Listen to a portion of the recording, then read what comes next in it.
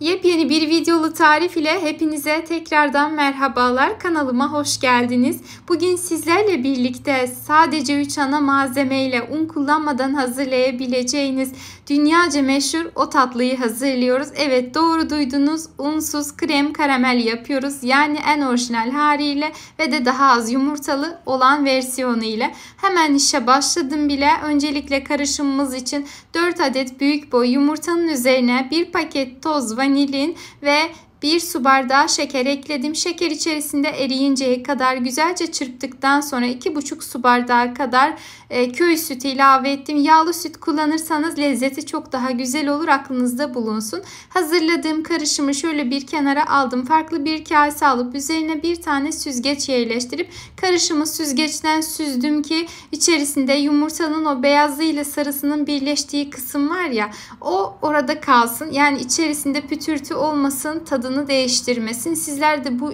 işlemi özellikle yaparsanız çok daha güzel olur. Süzdükten sonra karışımı bir Birkaç dakika kenarda bekletelim. Hemen karamelimizi hazırlayalım. Bunun için uygun bir sosluk aldım. İçerisine bir su bardağı kadar toz şeker ekledikten sonra kısık ateşte şekerin yavaş yavaş erimesini başla bekledim. Bu şekilde yavaş yavaş erimeye başladıktan sonra karıştırarak tamamen eşit bir şekilde erimesini sağlıyorum. Karameli bu aşamada kesinlikle yakmamaya özen göstermelisiniz. Yakarsanız tatlınız mahvolur. Her karamelli tarifte özellikle söylediğim gibi. Karamelli yaparken mutlaka dikkatli kontrollü olmak lazım. Kıvamı bu şekilde görüntüsü böyle oldu mu artık hazır olmuş demektir. Şimdi öncelikle uygun bir tepsi alalım. Tepsimizin içerisine fırında kullanabileceğimiz herhangi bir kapları yerleştirelim. Açıkçası ben normal kaseleri de fırında kullanıyorum. Özellikle bu gibi suyun içerisinde pişecek tariflerde herhangi bir sıkıntı olmuyor. Yine de sizler fırın kabı kullanırsanız daha da güzel olur. Fırın kaplarımı içerisine yerleştirdikten sonra her kabın içerisine bir dolu yemek kaşığı olacak şekilde hazırladığım karamelden pay ediyorum. Karameli kaselerimize eşit bir şekilde paylaştırdıktan sonra üzerine hazırladığımız karışımı dökelim.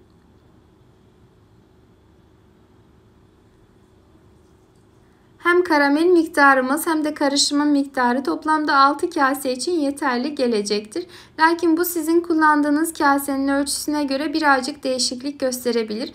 Ben kullandığım kaselerimin ölçüsünü açıklama kısmında belirtiyor olacağım. Sizler oradan görüntüleyebilirsiniz.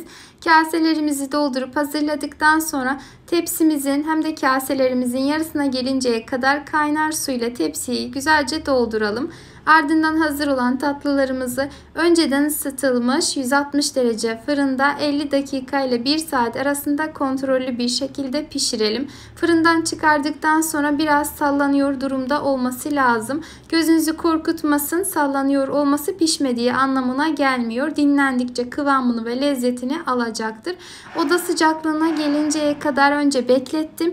Ardından 2 saat kadar buzdolabında dinlendirip hemen servis aşamasına geçtim. Sizler bu tatlıyı hazırlayacaksanız mutlaka bir gece öncesinden hazırlayın veya sabah yapın akşam servis edin. O şekilde de olur. Önemli olan en az 6-7 dakika pardon 6-7 saat kadar dinlenmiş olması çok çok önemli. Hem kıvamı hem lezzeti birebir oranda artacaktır.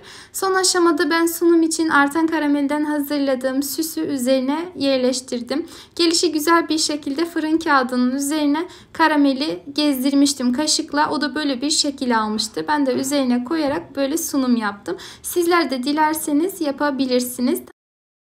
Hemen kıvamını da sizlere gösterip videoyu sonlandırıyor olacağım. Bir sonraki videolu tariflerim için kanalıma tamamen ücretsiz bir şekilde abone olarak bildirim zilini tüm olacak şekilde etkinleştirirseniz yeni videolarımdan anında haberdar olabilirsiniz. Eğer tarifi denerseniz yorum yazmayı ihmal etmeyin lütfen. Beğeni ve destekleriniz benim için çok önemli. Kendinize çok iyi bakın. Allah'a emanet olun.